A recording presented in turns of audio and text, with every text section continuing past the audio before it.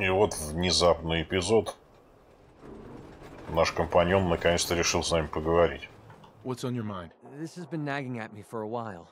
I've been waiting for the right moment to talk to you, and I suppose this is as good a time as any.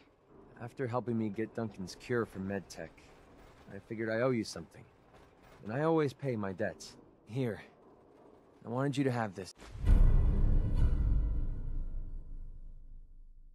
Э, I know a carved toy soldier is a strange reward for risking your life, but this one's special. It means a lot to me. Did you make this yourself? Do I look like the artistic type to you? My wife Lucy gave this to me right after we met. I, uh, I told her I was a soldier and she made it for me. Never could bring myself to tell her the truth. That I was just a hired killer. The soldier story was the best thing I could come up with. I didn't want to lose her because of what I was. She ever find out the truth? No.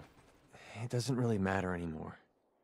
She died a few years back. We made the mistake of holding up in a metro station one night. We didn't know that the place was infested with ferals. They were on her before I could even fire a shot. Ripped her apart right in front of me. There was nothing I could do. Took everything I had to escape with Duncan in my arms. Maybe it would have been better if we died there with her. Why would you say something like that? I guess I needed to tell someone how I felt about it. Damn, I miss Lucy. No matter how bad things got, she was always there with a shoulder to lean on. It gave me...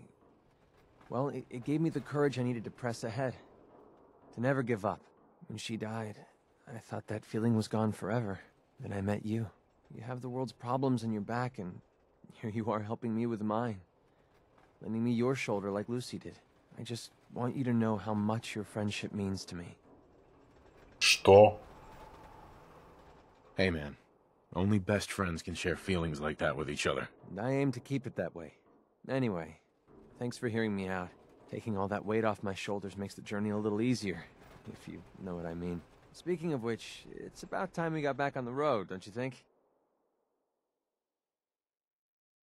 Ну, слава тебе, Господи, а то я уж думал, романс придется с ним заводить. Шо вы...